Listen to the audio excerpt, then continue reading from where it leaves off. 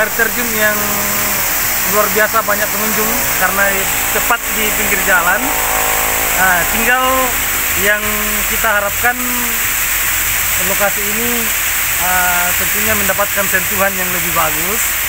Uh, kalau ada tempat-tempat, ya mudah-mudahan ini bisa dibenahi.